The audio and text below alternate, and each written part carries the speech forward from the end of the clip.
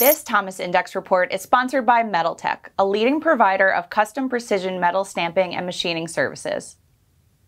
Hi there. In this week's Thomas Index report, we're going to take a look at sourcing activity for CNC machining by users of the thomasnet.com platform. Our data shows that over the past 12 weeks, sourcing activity for this category is up 28% over its historical average.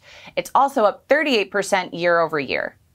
Computer numerical control, or CNC machining, is a subtractive manufacturing process that uses computerized controls and machine tools to create parts by precisely cutting and shaping metals, plastics, wood, and other materials. Since the very first basic CNC technology was introduced in the 60s, it has grown to become one of the most widely used machining processes throughout the modern manufacturing industry.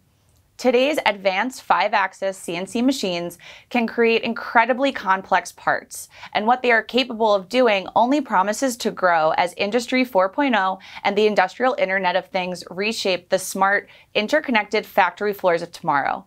With more and more manufacturers upgrading their facilities to embrace Industry 4.0, and with economic activity in the U.S. manufacturing sector growing for 35 consecutive months, it's no surprise that our data is showing the steady upward trend in sourcing activity for this core manufacturing process.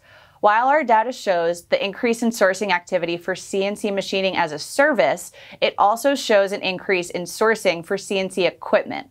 In fact, sourcing activity is up 39% or more year over year in the categories of CNC machines, used CNC machines, and CNC routers. This is a clear indication that manufacturers and machine shops are sourcing new equipment to add capacity, to grab a larger share of the growing demand for CNC machining services.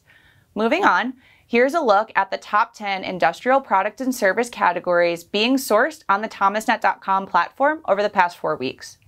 To get this weekly Thomas Index report, as well as daily news and information for industry, please sign up for our Thomas Industry Update newsletter at thomasnet.com slash updates. Thanks for watching, and I'll see you next time.